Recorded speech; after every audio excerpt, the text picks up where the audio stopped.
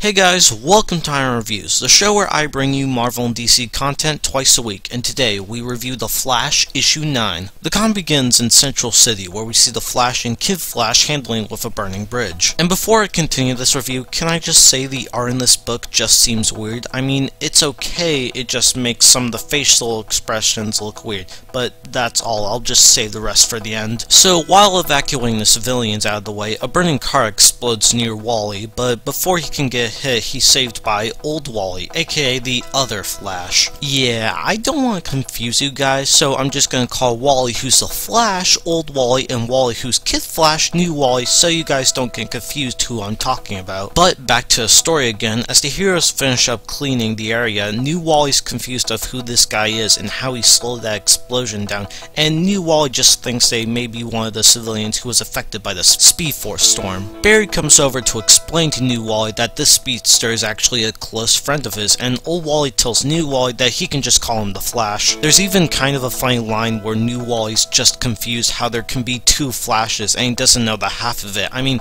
if you count Jay Garrick and maybe Max Mercury and the other Speedsters, yeah, I can see why New Wally's confused about this. Barry also explains he actually trained this Speedster as well, but New Wally's still confused of why this guy's here. Old Wally just tells both Speedsters they just came here to inform Flash of what was doing here, and both Wally shake hands and something strange happens. Apparently Barry's powers are acting up and he starts to freak out, well his powers start to freak out and he starts having visions and acting weird. New Wally tries to help Barry but his lightning actually burns Wally, and that's when Barry starts to act weirder, saying what's the point, why do we dress up saving people, what's the point of life, life is just a joke, basically saying most of the lines anti-heroes say. But that's not all of it, Barry tells both the Wallys that they understand what he goes through, and while his parents were taken away from him, their parents just abandoned them. He even tells New Wally that his father would rather call himself Uncle. Yeah, apparently New Wally's dad was the New 52 version of Reverse Flash. And what a way to find out, am I right? Old Wally sees that Barry's acting strange and tells him to stop, but that's when Barry gets on Old Wally's case saying, Oh, you think you have what it takes to be me? I have no legacy. I'm the Flash. You aren't. This keeps getting worse as we see Barry's powers getting more and more haywire, and Old Wally explains to New Wally that he's actually seen this before. Old Wally explains to New Wally that he sees that Barry's being pulled into the Speed Force, and they need to figure out a way to stop it. Both heroes try to figure out how to save Barry, and they think, hey, what if they just pull Barry out using their powers at once? And they do, and it works. Barry gets pulled out, and everything seems to be going back to normal. Oh yeah, except for New Wally finding out his dad was his uncle. Yeah, as soon as Barry gets back together, that's when New Wally immediately asks about his uncle Daniel and asks if what Barry said was true. Barry tries to explain that he only found out the first time when Daniel was arrested, but New Wally doesn't want to hear it and just runs off. And as Barry tries to run after him, Old Wally just tells Barry to just give him time to think over what happened. As New Wally runs away, he thinks that yeah, he knows the Flash was acting weird and didn't mean to say that, but New Wally's actually wondering why Daniel left him. And New Wally even thinks if maybe he's one of the reasons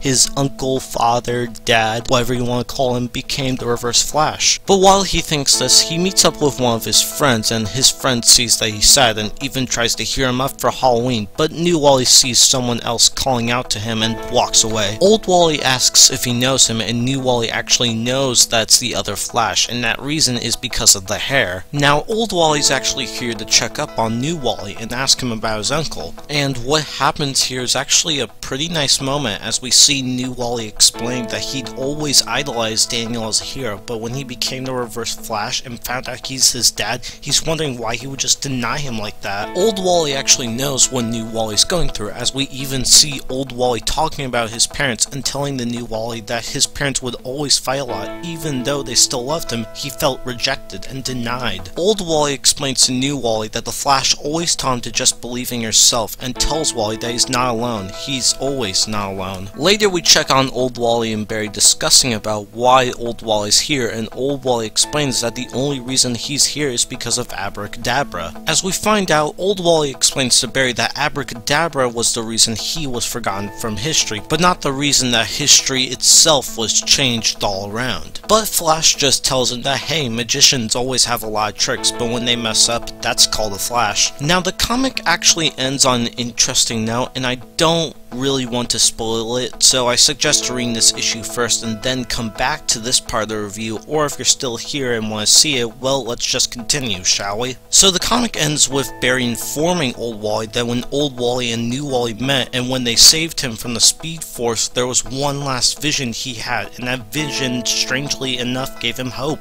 And that vision was a vision of Jay Garrick's helmet. Yeah, not the Earth 2 New 52 Jay Garrick, but like the original Jay Garrick helmet helmet, and that makes me really excited, and that's where the comic ends. The Flash issue 9 was a nice one-shot issue that did a lot of things great. First of all, this was the first meeting of both Wallies, and I was really wondering how they were going to do this, but they did it good. I mean, it wasn't just old Wally Flash saying, hey, they're related and family. No, it was just them meeting, and later in the issue having a nice moment comparing their past history. Although this was great, I did feel some parts were a little rushed, and what do I mean by that? Well, when the characters are talking about one thing at first and then just completely move on to a different subject, leaving the past subject for later. The art in this book wasn't the best either, I mean it was okay, but like I said earlier, some parts of it were weird and most of the facial expressions just look really weird, but overall this was a great issue and that ending with Jay Garrick's helmet was the best. It makes me wonder if we'll see Jay Garrick in the upcoming Justice Society book. But yeah, overall great issue with good art and great story. I